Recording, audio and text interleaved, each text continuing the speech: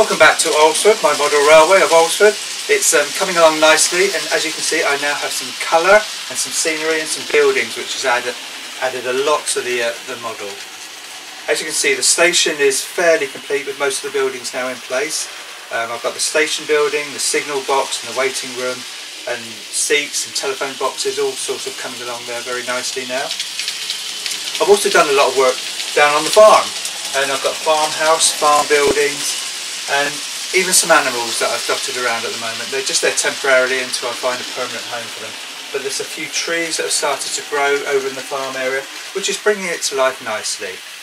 And as you can see the villages still need a lot of work done to it. I have a few buildings there, I have more buildings to build but it's very bland at the moment and it's, I'm just trying to get an idea of where to fit things and how to, things are going to do. So at the moment they're all very temporary there. So there's some lighting underneath there which uh, will help it soon. And, but the buildings are just temporarily put there.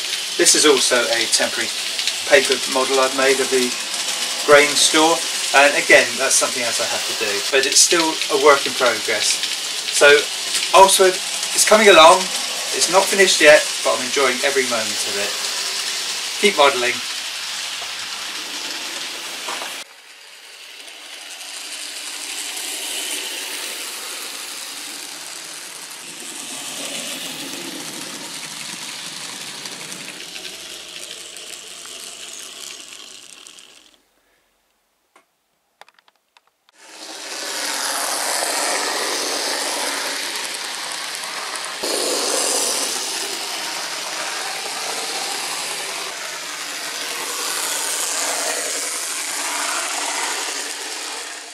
So on the layout I've used a lot of Metcalfe uh, buildings that I find really really good actually.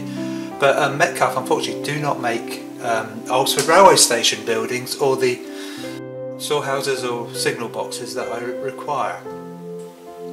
So what I've, what I've done is using PowerPoint I've designed at 148 scale paper uh, constructions that I build um, also using Google Maps where you can measure stuff quite accurately as well. Um, so I'm trying to get a sense of scale, but even at 148 scale, sometimes the buildings don't quite look right, the perspective is not quite right.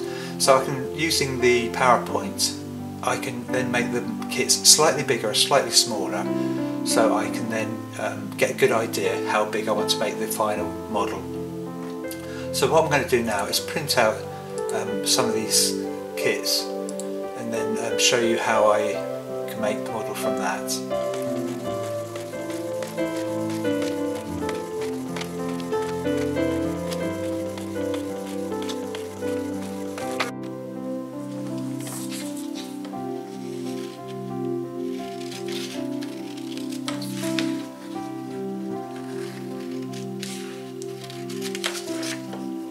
Once I've cut these out, I will then stick them to with sellotape, place them on the layout and see how it looks. Right, I've now cut out the pieces I need to, uh, to build the warehouse. Now it's just a case of getting a bit of sellotape and sticking them together. And uh, in a minute I should take it up onto the layout and see how it looks for scale and size.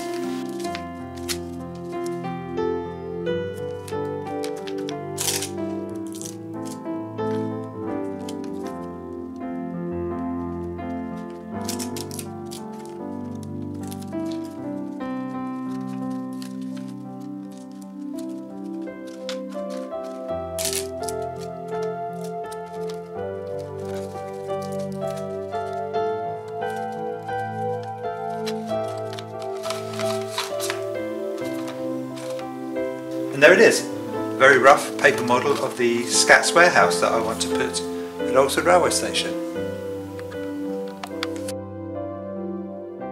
I've now put the uh, paper model on the layout to get an idea of size and scale to see if it's uh, the right size and if it's what I actually want.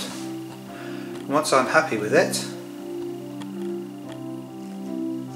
I can then start building the proper model and hey presto, there is the model I've decided to go with.